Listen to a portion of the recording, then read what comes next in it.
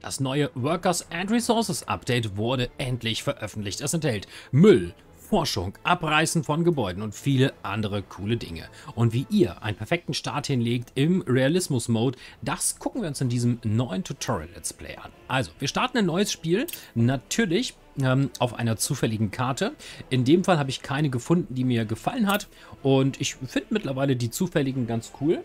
Und ja, da starten wir mal. Wir gehen äh, natürlich auf realistisch. Allerdings will ich die Zeit auf 1960 ändern, damit wir im Game einfach ein bisschen mehr Zeit haben.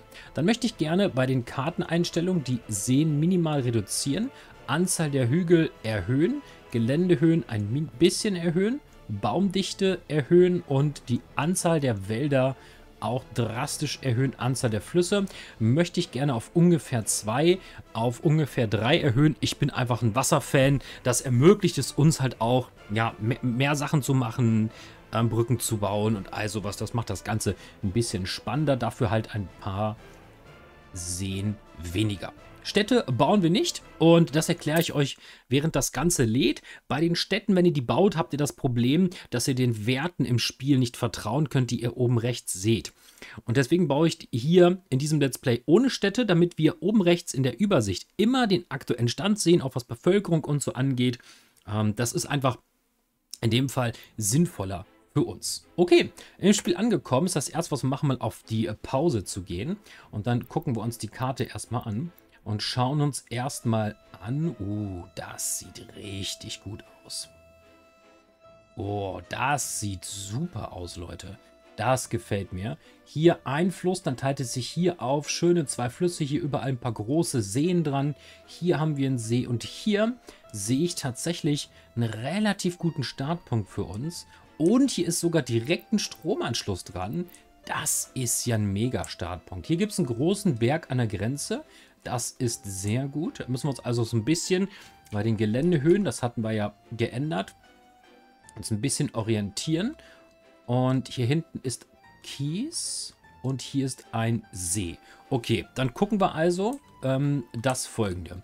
Wir werden die Industrie hier in die linke Ecke verlegen und die erste Stadt grobe Richtung hier unten hinbauen sodass wir das Abwasser hierhin verschütten können. Und die erste Industrie legen wir hier hin und werden dann eventuell Felder hier hinten in diese Richtung anlegen. So, die erste Industrie, die wir bauen werden, wird Nahrungsmittelindustrie sein. Ähm, das macht einfach am meisten Sinn. Ich zeige euch mal auch die Werte hier. Ja, ähm, wir müssen relativ schnell relativ viel Geld verdienen und das geht am Anfang ohne Forschung nur mit Kleidung. Ja, wir haben keine anderen Möglichkeiten. Ich zeige euch das auch mal. Wir haben zum Beispiel nicht mal eine Fabrik für Fertigplatten können wir bauen. Wir könnten hier zwar Öl fördern, ähm, aber wir können nicht mehr eine Raffinerie bauen, geschweige denn Chemie oder irgendetwas in die Richtung. Wir können keine hochwertigen Wohngebäude bauen und sowas. Und ich mache nochmal fix die Mods aus. Wir spielen in diesem Let's Play ohne Mods. Äh, wir nehmen nur die Vanilla-Gebäude. Ihr müsst also nichts runterladen. Es ist alles Vanilla. Ihr habt es gesehen, Mods sind nicht mehr drin. Ähm, wir lassen also wirklich nur die Vanilla-Gebäude an. Und das, was wir am Anfang bauen und machen müssen, ist Kleidung, Essen und Kleidung wird am Anfang sehr wichtig sein, um unsere Industrie in Gang zu bringen. Und deswegen möchte ich hier in diesem Let's Play ein zentrales, ja mehr oder weniger ähm, Warenkonzept etablieren. Ich zeige euch mal, was ich meine. So, wir holen uns mal unser im Zugsystem da holen wir mal unsere Frachtbahnhöfe. Da gibt es hier oben einen relativ großen Frachtbahnhof. Und den werden wir mal nehmen. Und jetzt können wir mal schauen, wir, dass wir das so halbwegs hier ja, vielleicht so ein bisschen, dass wir das am Raster ausrichten. Ein bisschen weiter weg das Ganze. Ähm, jetzt muss ich nochmal schauen, wo hier äh, das Ganze war. Hier unten können wir eventuell ein bisschen was abbauen in Richtung Kies. Setzen das mal dahin. So, und dann fragt man sich übrigens auch, ja Mensch Nerd, dann guck doch erstmal, wo sind denn überhaupt deine ganzen äh, Kohlevorkommen? Ja, lass uns mal gucken. Kohle ist, äh, hm, Eisen, hm, Öl, tja, Ich kann euch sagen, das ist nicht mehr ganz so einfach. Wenn ihr hier unten auf die Fragen und Antworten geht, dann könnt ihr euren Ministern Fragen stellen. Und da gibt es den Minister für Wissenschaft. Und da gibt es hier den Forschungsbaum. Und hier seht ihr, was wir alles erforschen können.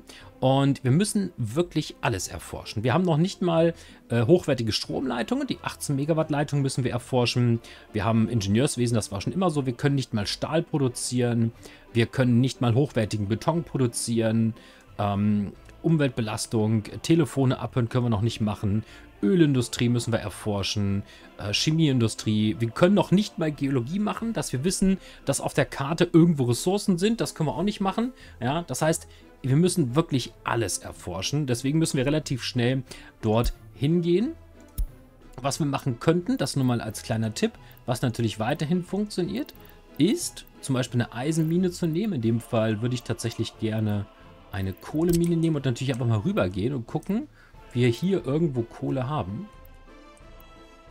Das ist äh, leider, wie ihr seht, nicht der Fall. Ja? Das heißt, wir haben hier vorne nicht mal Kohle. Jetzt gehen wir mal hier auf diesen Berg. Da haben wir auch nichts. Gehen wir mal hier. Ja, da haben wir auch nichts. Ich wette, hier oben auf irgendeinem so Berg haben wir Kohle. Nee, das Ihr seht, wir haben keine Kohle in den Bergen, die wir bei uns haben. Wir wissen auch nicht, wo die Kohle in Zukunft ist. Also, das müssen wir alles heraus. So, jetzt werden wir hier die drei Gleise erstmal anschließen. Wenn das, gleiche, das Gleis hier rechts offen lassen. Und das setzen wir einmal dahin. Das machen wir einen schönen Bogen. So. Einmal da. Und da. Das werden wir noch nicht bauen. Das, wir werden auch noch keine Kreuzung oder so einbauen. Das hat einfach nur den Hintergrund, dass es dann schon mal vorhanden ist. Wir werden auch hier unten noch nicht weiterbauen. So, wozu soll das Ganze gut sein? Ich möchte hier vorne ein Zentrallager erschaffen, welches wir in Zukunft über die Züge versorgen können. Da kommt rein Kleidung, Essen, Chemie und so weiter und so fort. Und von hier aus werden wir dann die nächsten Städte versorgen und in Zukunft diese Sachen auch alle mit den Zügen versorgen. Wir werden auch über die Kiesindustrie und die Bauindustrie planen, darauf achten, dass wir alles von überall nach überall mit dem Zug verteilen können weil wir ansonsten bei einem realistischen Spiel doch relativ schnell in Probleme geraten. Ja, ihr müsst in einem realistischen Spiel viele Massen über große Entfernungen schnell transportieren können und das geht einfach nur noch mit dem Zug. Deswegen werden wir von vornherein dieses System nehmen. So, dann brauchen wir als allererstes ein Lagerkomplex und es gibt eine ganze Menge neue Lager, auch per Default. Da gibt es ein sehr schönes, nämlich das will ich nicht. Das kostet mir zu viel Stahl. Stahl ist am Anfang relativ teuer. Ihr seht, das kostet 9,2 und 9,4. Dafür hat das hier natürlich wesentlich mehr Arbeitstage als äh, das andere. Aber das ist einfach so. Dann dauert es einen Tuck länger. Dafür ist es vielleicht nicht ganz so teuer. Zumindest was den, was den Stahl angeht. Das bedeutet, wir werden uns das... Oder wir bauen...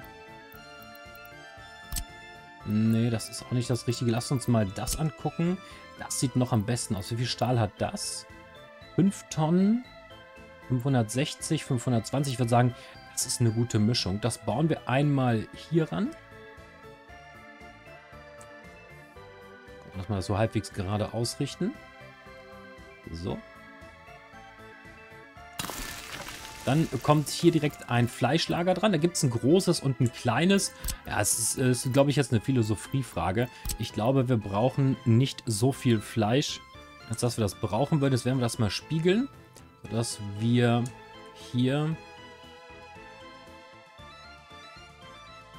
das Lager dran bekommen. Jetzt werden wir das nicht an das Lager ranbauen. Steuerungstaste. Zack, einmal bauen. Dann gehen wir hier unten auf die Industrieverbindung und werden das hier schon mal bauen. Wir können mal eine schöne Kurve noch mit reinsetzen. Einmal in Auftrag geben. Fertig. So, jetzt gibt es hier die LKW-Laderampe und die werden wir hier verwenden. Gucken dass wir hier ein bisschen platzsparend bauen. Das würde ich tatsächlich gerne spiegeln.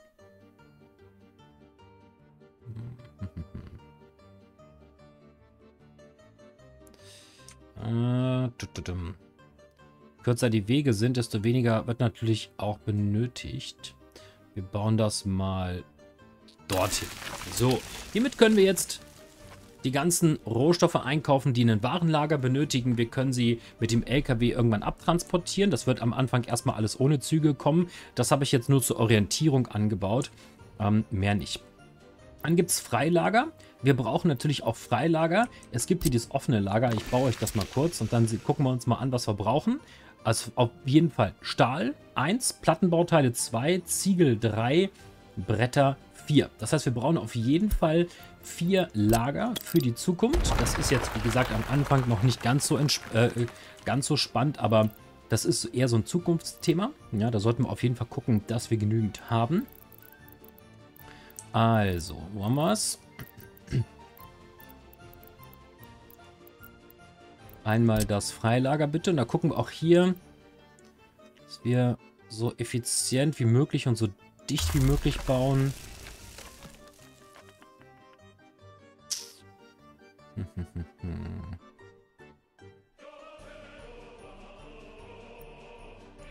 Einmal da bitte. Tja, das wird schon schwierig. Da müssen wir gucken, ob wir da noch eine Straße durchkriegen. Das wäre natürlich optimal. Wenn wir hier eine Straße noch durchkriegen. Ah, nicht. Kriegen wir echt keine Straße mehr durch.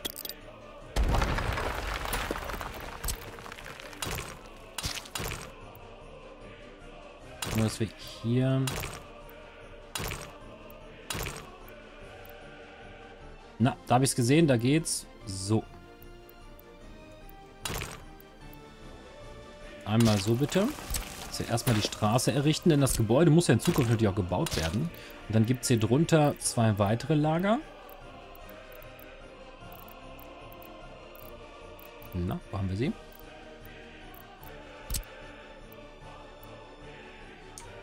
Einmal dort bitte.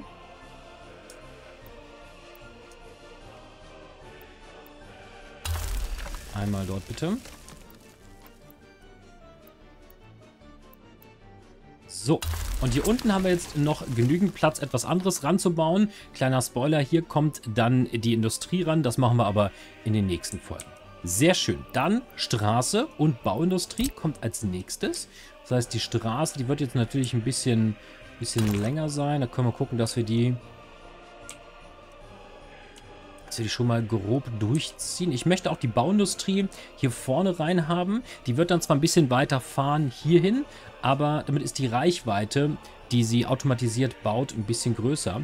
Das heißt, wir wollen ungefähr die Industrie hierhin haben. Müll kommt dann hier oben hin über die, über diese, äh, über die Bauindustrie und die Stadt kann dann hier in diesem Bereich. Das bedeutet, wir müssen die Straße, die ziehen wir einmal da lang. Und dann wollen wir hier schräg in diese Richtung gehen. Jetzt gucken wir mal, dass hier mit den Höhenlinien passt. Hm, ja, wir gehen mal in die Richtung. Einmal einen netten Bogen bauen, bitte. Wir bauen direkt eine zweite daneben.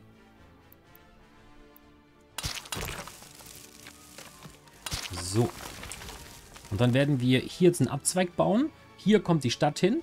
Und dann können wir von dort aus das Ganze dann auch demnächst vernünftig äh, verbauen. Und hier machen wir dann einen kleinen Schlenker und gehen dann hier rechts an der Stadt dann wieder vorbei, sodass wir sie dann hier reinbauen können. Vielleicht so leicht an den Berg. Das werden wir uns dann mal, mal angucken. Okay, so. Dann machen wir hier einmal einen Abzweig. Einmal ein kleines Stückchen dort. Und damit ihr, damit die Fahrzeuge schneller sind, können wir so einen kleinen Trick anwenden. So. Dann machen wir das Stückchen in der Mitte raus. Und dann können die Fahrzeuge hier wesentlich schneller drauf fahren. Und von hier aus werden wir dann einmal hier noch eine Straße errichten. Einmal dahin. Das Stückchen nehmen wir mal weg. Einmal da weiter. So. Einmal dahin und dahin. Müssen wir das Schnipselchen hier nochmal wegnehmen. Wir hier auch vernünftig rankommen. Gehen wir einmal da lang. Einmal dahin. Äh, nehmen wir uns hier mal einen gemeinsamen Punkt. Ja, schade, das geht nicht. Dann bauen wir da geradeaus. Und dann haben wir hier zumindest auch ein bisschen ähm, den Verkehr abgemildert. Und den können wir noch, ich denke auch noch nach da nehmen. Dann haben wir hier ein schönes Kreuz gebaut, der hoffentlich in Zukunft auch den Verkehr ähm, beschleunigt wird. So, hier kommt dann unsere Stadt hin. Wir führen die Straße links rum, die Straßen rechts vorbei. Das ähm, machen wir dann in der nächsten Folge. Und jetzt werden wir uns hier an der Ecke auch unsere erste Bauindustrie bauen und die ersten Bauaufträge erteilen. Ganz wichtig dafür, wir werden alles erstmal deaktivieren. Das will ich alles nicht bauen, das machen wir alles separat. Das heißt, einmal hier eine Straße raus. Stückchen nach da, Stückchen nach da.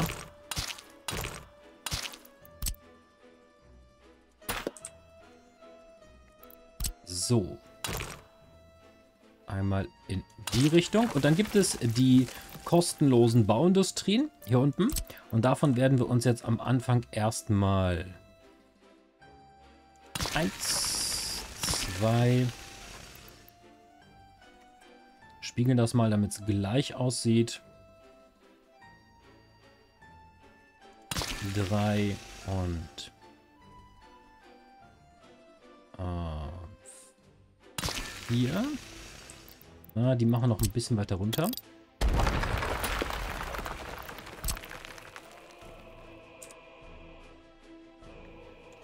So, dann haben wir das nämlich auch. Dann kommt das erste Verteilungszentrum. Die gibt es einmal hier. War es nicht hier?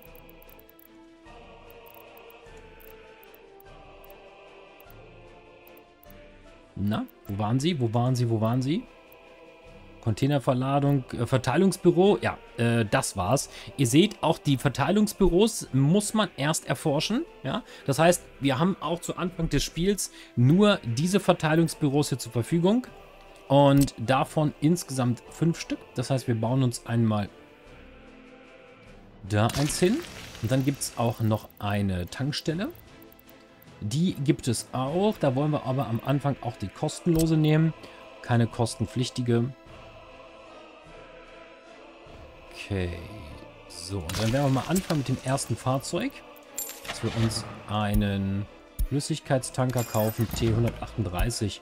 Und dann können wir jetzt schon starten. So, also wir werden bei all diesen Gebäuden die Sachen erstmal von da oben holen. Da kriegen wir alles her, inklusive Arbeiter. Und dann fangen wir hier mit Bussen einmal an und werden auch die automatische Suche erstmal vergrößern.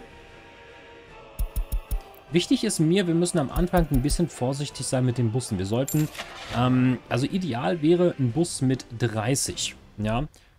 Einfach da 30 den großen, großen Effekt hat, dass wir nicht so viele haben, denn wir haben nur maximal 80, 90 Arbeiter. So, das wird aber, das wird aber am Anfang schwer möglich sein. Deswegen gehen wir mal auf Gesamtkapazität. Wir sehen, wir haben hier 7, 8, 40. Deswegen nehmen wir uns mal 4 40er. Dann werden wir uns hier ähm, zwei Bagger kaufen, Stufe 33. Und auch ähm, eine Planierraupe. Na, wir sollten gleich zwei Planierraupen nehmen. Dann werden wir hier vier Kipper der äh, Stufe T138 und ich persönlich baue am liebsten ja fünf Ah komm, wir bauen nochmal noch ein fünftes hin. Ich glaube, ein fünftes ist hier okay. Das Problem ist hier natürlich auch, wir können maximal nur sieben nehmen. So, dann brauchen wir auf jeden Fall hier ähm, abgedeckte Ladefläche. Jetzt gucken wir nach Gesamtkapazität. Da hätten wir den Skoda. Das ist für Mechanik, äh, Teile und Elektronik. Dann gibt es ein... Ja, ich würde zwei Betonmischer nehmen. Dann brauchen wir eine offene Ladefläche. Da gibt es dann den Skoda. So. Und dann können wir im vierten gucken, was wir noch brauchen. Nämlich den Straßenkran. Den brauchen wir definitiv auch noch. Da würde ich sagen, wir kaufen uns erstmal einen Kran. Dann nehmen wir mal den. Und eine Walze, die hier am Walzen ist. Okay, gut, das ist das Thema. Dann gibt es natürlich hier einmal Öl bzw. Treibstoff.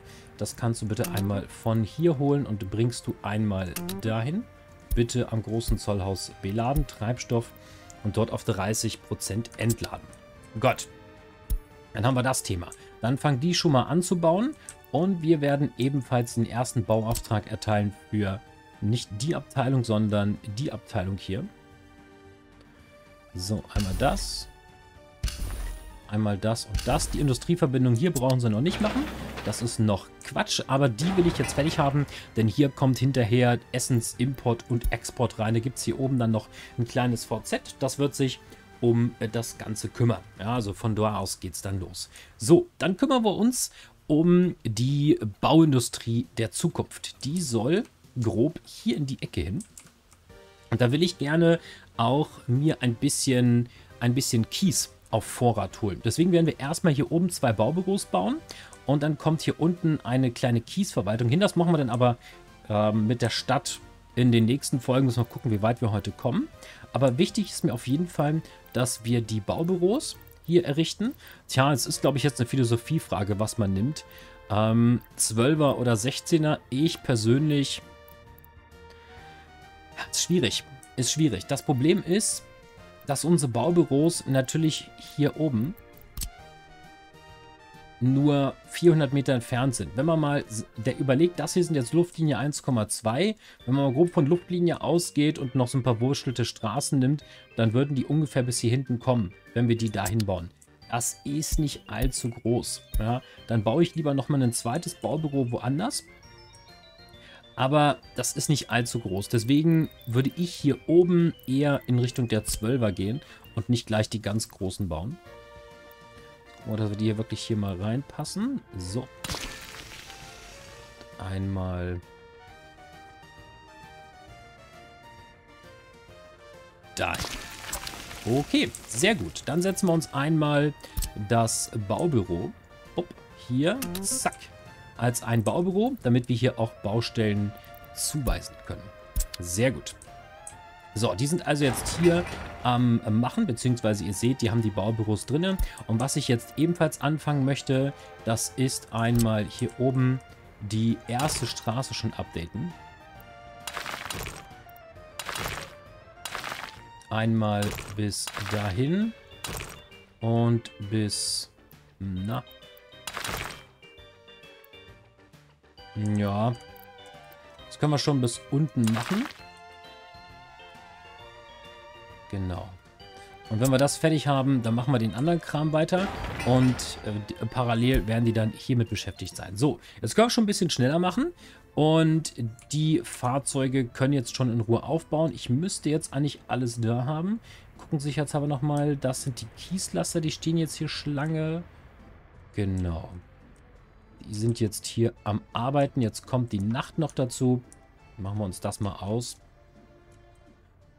Okay, gut. Dann fehlt uns eigentlich nur noch eine wichtige Sache. Und das ist der Müll. Tja, es ist, glaube ich, eine gute Frage. Machen wir das hier hin oder machen wir das hier hin? Ich würde fast sagen, wir machen hier eine Parallelstraße, die wir hier abzweigen lassen.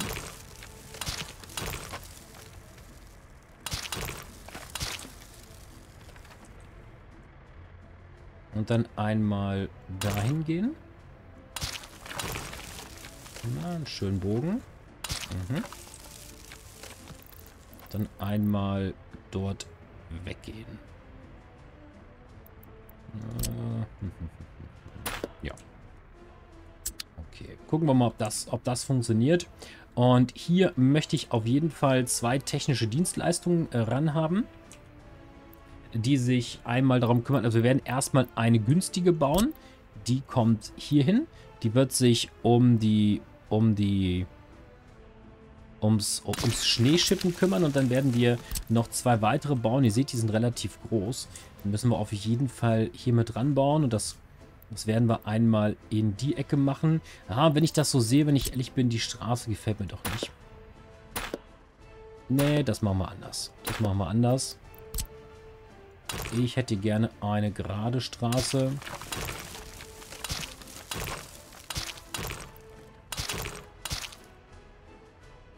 Können sie im schlimmsten Fall auch gleich hier durchfahren. Ich glaube, das ist am Ende effektiver, wenn die hier direkt durchfahren, anstatt dass die hier irgendwelche Kreuzungen haben. Okay. Ja, das ist, denke ich mal, besser. Gut, technische Dienstleistung. Also. Dann bauen wir einmal Nummer 1. Einmal Nummer 2. Wie gesagt, das werden wir auch nochmal aussetzen. Das brauchen wir jetzt zum Anfang tatsächlich nicht bauen. Habe ich jetzt hier mit... Ähm, ja, es, es funktioniert. Okay. So, und dann kommt ein einfacher Müll für den Anfang. Wir werden den restlichen Müll so grob in die Richtung bauen und dann hätten wir, wenn wir das mal uns ermessen, von der Entfernung her, messen wir die, löschen wir die Punkte mal von hier ganz grob bis, ja, sagen wir mal so hier hingehen, dann sind 600 Meter. Das muss für unsere Stadt einfach reichen. Ja. So, jetzt machen wir einen ganz einfachen Müllstart für den Anfang. Das heißt, ihr seht auch beim Müll ist am Anfang fast alles blockiert. Ihr könnt im Prinzip eigentlich nichts machen, außer das Zeug in einer kleinen Anlage verbrennen oder es einfach stumpf da oben gleich hinbringen. Deswegen werden wir uns für den Anfang diese Lager für die Absetzcontainer nehmen. Davon bauen wir uns zwei Stück. Im schlimmsten Fall kaskadieren wir das weiter und bringen dort erstmal unseren Müll rein.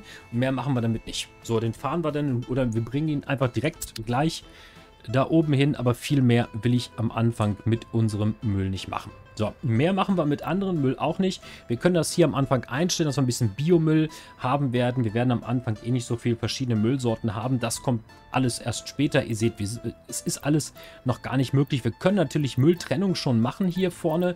Ähm, das ist hinterher für das Fertilizen wichtig, also für die Felderwirtschaft.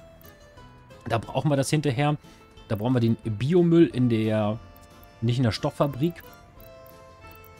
Ähm, dort, ihr seht in der Kompostieranlage, ja, da können wir den Biomüll zu Dünger machen mit ein paar Chemikalien, um dann das auf den Feldern zu bringen. Und das ist ganz wichtig, das brauchen wir auf jeden Fall. Und das sollten wir auch tun. So, den Müll kann er eigentlich schon mitbauen, aber nur ein Teil. Den Rest machen wir, wenn wir entsprechendes Geld haben. So, ja, jetzt sind wir hier vorne am Bauen. Die Straße wird errichtet. Die erste Nacht kommt. Und hier vorne kommt der erste Betonmischer. Jetzt schauen wir mal, ob wir hier noch irgendwas optimieren können. Ihr seht, wir brauchen 30 Beton. Würde ich sagen, kaufen nochmal einen weiteren Betonmischer. Dass wir das Ganze hier ein bisschen weiter optimieren. So. Okay, das sieht doch schon mal ganz gut aus, muss ich sagen. Dann gucken wir mal. Und so schnell kann eine Nacht vorbei sein. Faszinierend. Hier vorne sind die ersten Verbindungen fertig. Sehr schön. Wie viele Leute haben wir noch hier oben drin? Sieben Arbeitskräfte. Okay, gut. Dann können wir uns schon mal mit, der, mit dem Thema Industrie befassen.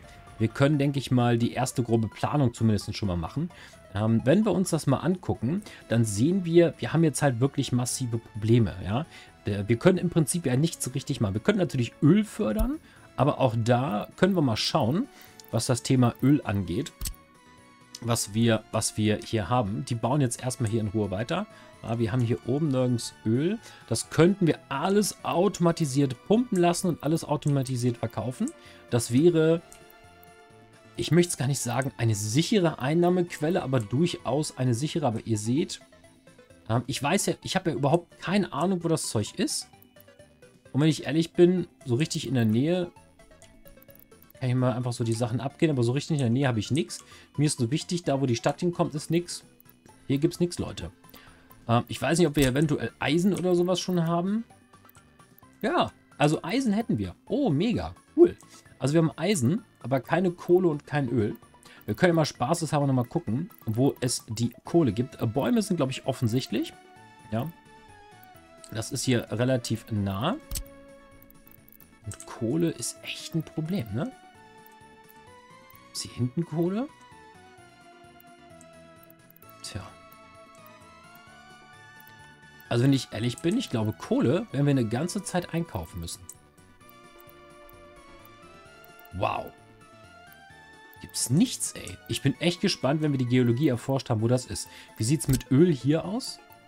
Auch nichts. Tja, wir lassen uns überraschen, wo diese Waren alle sind. Ich bin wirklich, wirklich, wirklich gespannt. Und wenn wir uns das nochmal angucken, ihr seht ja auch, Kohle ähm, bringt, also weiß ich nicht, Kohle ist halt unheimlich günstig, ja.